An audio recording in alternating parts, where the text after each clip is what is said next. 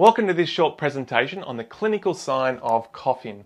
In this presentation, we're going to go through a definition, the way to categorize cough, what are the most common etiologies or causes of cough, and then finally we'll have a look at the mechanism of what causes a cough reflex. So the sign of cough or a coughing sign is essentially one of the most common presentations that you will see to primary practice. So it's very important that you understand what it is, what causes it, and the mechanism behind it. So a cough essentially is part of your immune system. It's an innate response to something that's coming in, irritating and causing problems in your airway. And what it's what your body's trying to to what your body's trying to do is get that thing out, get that irritation out, get that inflammation out, get that foreign body out so you can enhance your gas exchange. So that's what it's there for. Now, with all reflexes, there's usually three parts to a reflex. There is the sensory component, there's the control center, and then there's the efferent component, which is the motor. And that's no different to the cough reflex, which we'll cover when we do the mechanism. But let's first start on the way to categorize coughing. Okay, so the way that we categorize is usually based on duration. And if you know the duration, then you can look in each part of it different ways that you can provide diagnosis. So starting off with the acute cough. So this is a cough that's usually been around for less than three weeks. Okay, so less than three weeks would be categorized as an acute cough. Now there's two main subcategories to an acute cough. There, there are the infectious, I'll just put infection, and non-infection. Okay, so this is what we're doing now is just categorizing an acute cough into two parts, infectious based or non-infectious based. By far, the most common cause of an acute cough is infectious based, and by far the most common is viral, okay, which is upper respiratory infections, okay? So quite commonly it's going to be the common cold. So this is rhinosinusitis, okay? So rhinosinusitis from a vir viral origin is the common cold and by far that's the most common cause of an acute cough and that's generally going to be driven by an inflammatory basis. Okay, you can also have slightly lower infection, which when it starts to go a bit lower, will go into a bronchitis cause. But this is going to be more an acute bronchitis, not a chronic bronchitis. And again, by far, this is a viral origin.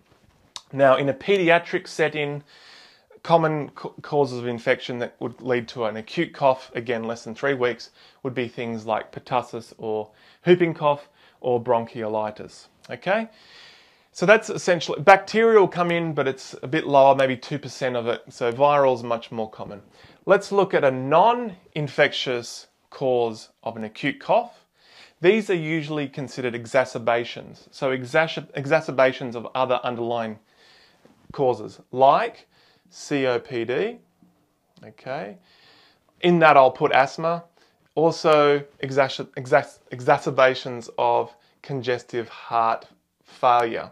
So, you know, a high portion of people with heart failure, congestive heart failure, you know, something like 70% of them will have a cough. And if if you are going into a phase of decompensation, so the heart's not compens- or the system's not compensating for the heart failure, you could move into an acute cough. Okay, and COPD being, you know, chronic bronchitis, emphysema, or asthma, when it flares up, okay, so when there's more mucus, where there's more bronchoconstriction, when there's more inflammation, that's going to lead to an acute cough. But this is a non-infectious basis. Another, another one just to be aware of before we move on is pulmonary embolism. So, you know, 30 to 40% of people with a PE will present with a cough, okay?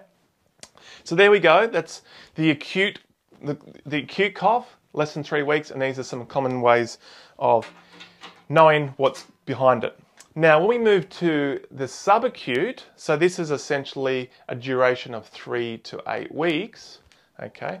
Now, by far, the most common cause of a subacute cough is post, post infectious. So, really, what's happening here, so post infectious, really everything we saw here is still lingering around which leads to this ongoing cough.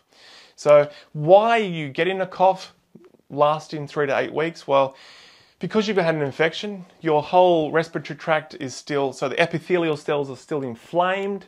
You've probably got the goblet cells still producing a bit too much mucus, so that's causing irritation mechanically on the receptors, which we'll go through in a second when we do the me- mechanism. But also, you have the nerves that's taking information away from the, the respiratory tract um, to the brain. They're hypersensitized. So these are, you know, generally why you're having a um, a cough from a post-infectious. The, the, the, infection might be gone or pretty much gone, but we've still got this underlying thing going on, which is causing the cough. Some other things just to be aware of is the use of ACE inhibitors. Okay, so an ACE inhibitor, which is a blood pressure medication. Um, like the Prills, these could be, they could kick in after a few weeks after you've taken it and then you might get a cough, okay? So and that might linger on for a number of weeks, which is may come into the subcategory, it's into the subacute category. So ACE inhibitors just be aware of, but again, by far, post-infections are the, the most common. Now we move to chronic. So chronic cough is anything greater than eight weeks. Okay, so anything greater than eight weeks is essentially what we consider a chronic cough. Now, easy way to remember this: there's really only four main causes of a chronic cough. But the first thing we need to eliminate is usually they'll do a chest x-ray. So your, the doctor will do a chest x-ray, ensure that there is no underlying issue in the lungs like pneumonia. So if that's cleared and the person's a non-smoker and they're not taking an ACE inhibitor, there's four main causes. One, two, three, four. Okay. Firstly, this one is called upper airway cough syndrome. Okay, so approximately 34% of people with a chronic cough will fit into this category. This was previously known as postnasal drip. So, this is essentially uh, an, in, an inflammation which could come from a viral, a bacterial, an, an allergy, or just irritation through irritants, chemical irritants, causes, again, like we saw up here, a rhinosinusitis, which is inflammation of the nose epithelia and the sinus epithelia. That could come about, like I said, through a viral cause, through a bacterial cause, through an allergy basis, or maybe just through irritation. Now, what happens here, these cells, through inflammation, will start to drip down the back, which is why it was once called postnasal drip, which is irritating the receptors lower down in the, the larynx, let's say. And this is now what we call the upper airway cough syndrome. So we've changed from the postnasal drip to this particular syndrome because it's a spectrum, basically coming from issues with the, the rhino, the rhino, rhinosinusitis, okay, leading to that issue. So, but, but as you can see, 34% of people with chronic cough probably fits into this category. Next, uh, asthma. So and this is what we probably consider a cough variant asthma. So, about 25, a quarter of people with a chronic cough will have this underlying cough variant asthma, which just means they may not see or experience the wheeze that goes with asthma. It might just be subclinical, not that noticeable, but the cough is the dominant phenotype, which means that in asthma we know we have a sensitization in the airway, we also have bronchoconstriction, and this is in this case leading to a cough rather than a kind of airway limitation. Now, another common, and this is almost another variant of asthma, is what we call a non asthmatic eosinophilic bronchitis. Okay, so I'll just say it again. Non asthmatic eosinophil, they're the white blood cells, bronchitis. Okay, and this is about 13% of chronic cough sufferers. So, what you can see, and this is a very similar presentation to asthma. Okay, so you can see almost half of chronic cough sufferers would be in an asthma like state. Okay, the only difference with a non asthmatic eosinophilic bronchitis, so the inflammation of the bronchioles is the underlying issue, driven by eosinophils, which are white blood cell. The only difference here is in these guys, they're not really having any changes to the the bronchioles, so they're not going to have limitation in their breathing, whereas the asthmatics would. So if you did a pulmonary function test and you were to induce kind of a, a bronchoconstriction, you would have these guys presenting with changes in their PFTs, whereas this group would not. But the way that they would treat, be treated would be almost the same. Finally, we have GORD or GERD in America. So that's essentially gastroesophageal reflux disease, and about 20% of people with chronic cough will be this phenotype. And what's essentially happening is we've got a stomach acids coming up, regurgitating up up the esophagus, which is then causing irritation not only to the esophagus but to the upper airways, which is causing sensitization and inflammation to these receptors, which we're going to talk about, and that's leading to the cough. Okay, so again, quite a, a very common cause of a chronic cough. So these guys here are basically the four main causes of a chronic cough, and as you can see, there's obviously going to be um, ones that fall outside this, but statistically they're going to fall into these four categories. Now, there's a lot there, but I thought what we could do just to refine easy ways to remember it is we can go here and go coughin, so C O U G H I N G. And now we have a mnemonic to remember, easy ways to remember causes of coughing. So the C, you can use COPD. And particularly in the COPD is asthma. Okay? O is edema. So anything that causes fluid into the lungs would cause a cough. So we saw over here Okay, bronchi- bronchitis, which is inflammation and edema. We saw um, chronic, uh, sorry, congestive heart failure would also ca- cause it. Um, so anything that would put fluid into the lungs would cause a cough. U, we got down here, so we got upper airway cough syndrome. G, we've got GORD or GERD. H, this is uh, me being inventive. This is hypertensive medications, okay, and we know an antihypertensive medications are your ACE inhibitors. So ACE inhibitor, and that's your prills. okay. I is basically infections or irritation or irritants like smoke, like let's say chlorine gas, um, chili, things like that. N is this one down here, so that's non asthmatic eosinophilic bronchitis. And then G, it's basically a placeholder, so you can either get rid of it or just put GORD in again. Okay, and that gives you coughing, which is much easier to remember as a mnemonic than try to remember all, all that stuff. So let's do finally, let's do the mechanism of how a cough is, comes about. So, like all reflexes, we need to have those components. We need to have a sensory component, we need to have a control center component, and we need to have a motor component. So the sensory component is down here in the epithelial cells. So this is essentially lining your whole respiratory tract. These are your cells here, and what I've just drawn is, you know, epithelial cells that are ciliated. Now the vagus nerve is the afferent nerve, so this is the, the nerve that's going to innervate it. And the receptors that we see are three main receptors, C fibers, rapidly adapting receptor fibers and slow adapt- adapting receptor fibers. And basically, the way you should look at it is the C fibers are the most abundant, they are unmyelinated, but they're mostly going to respond to um, chemical driven effects. So, this could be irritation that things are coming down the airway and causing irritation, like acid or like um, chemicals that you've breathed in.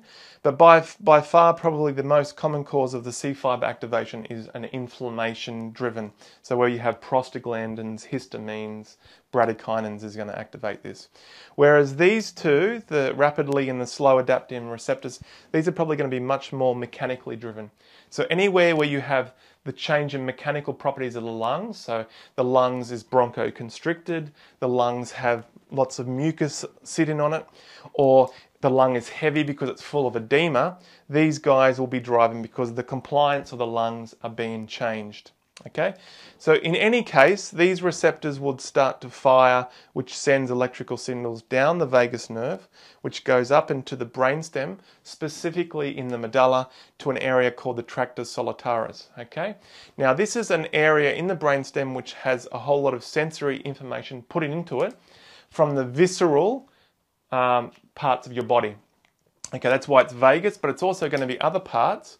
And this other things can actually come in to activate the cough. So it can come from your ear, it can come from your throat, it can come from your um, heart, it can, can come from your esophagus, it can come from your stomach.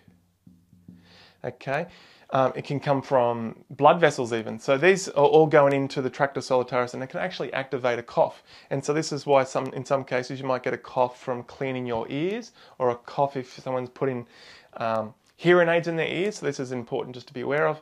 Or the stomach and esophagus, which is driven by acid or even pericardium can cause activation of this center, which can cause coughs. So, so there can be sensory inputs outside the respiratory tract that can activate this center, which can cause a cough, not only from the respiratory, respiratory epithelium itself. So the tractus solitarius is this control center which will make sense of the information coming into it, and then it will send this signal to the pattern regulator of the cough or the respiratory tract. And this is probably a combination of ventral dorsal medulla and, pon- and pons, which is going to generate the output. And this is a combination of inspiratory center and expiratory. And this is the this is the component, this is the motor component of the cough. Okay, so we've done the sensory component, we've done now the control center, now we're going to generate how you produce a cough. So the inspiratory center is essentially going to go to the muscles, so nerve go into the muscles, which helps to bring or to change the, the dynamics of the lungs. So we're going to pull the diaphragm down, so that's going to be phrenic nerve. We're going to bring the chest out, external intercostals, and we're going to bring up the neck, so that's going to be the accessories. So that will do that and cause a change in the pressures in the lung, causing air to go in. But the one thing that changes with a cough is we're going to send a signal to the larynx to close it off. Okay, so this is the compressive the compressive phase of the cough. That's going to go to the um, recurrent laryngeal nerve, which goes to the glottis, closes off the vocal cords. That means the pressure starts to build up.